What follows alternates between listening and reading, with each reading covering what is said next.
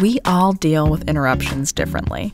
Notifications in Slack help you stay focused on the things that matter to you, instead of distracting you from getting work done. There are a lot of ways to customize your notifications so that you can concentrate on your work without missing anything important. By default, you'll always get an alert when someone mentions your Slack username, you get a direct message, or someone uses one of your designated highlight words. But you can try out what works for you and set different preferences for individual channels and conversations by changing your notification preferences from the team menu. Use highlight words to give you a nudge when someone mentions a word or phrase you want to stay on top of. It could be a project you're working on, a client you're following, or something fun like the name of your favorite food truck, so you know when someone's making a run. It can also be your name, in case someone mentions you without tagging your username. As your team grows, you'll probably find yourself in more and more channels, but you don't have to keep up with them equally. Star channels that cover the topics most important to you to bump them to the top of your channel list.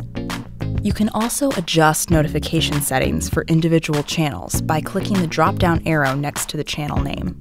If there's a project you're following closely, adjust your settings so you get notifications for all activity in that channel.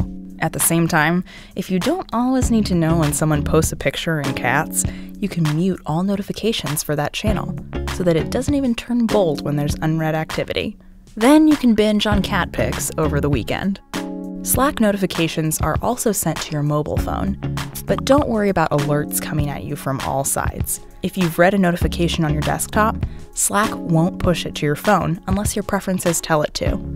If you're an Inbox Zero fan who likes to clear your unread messages quickly, go to the Advanced Options section of your preferences and set your channel list to show only the channels and direct messages that are starred or have unread activity, and hide the rest.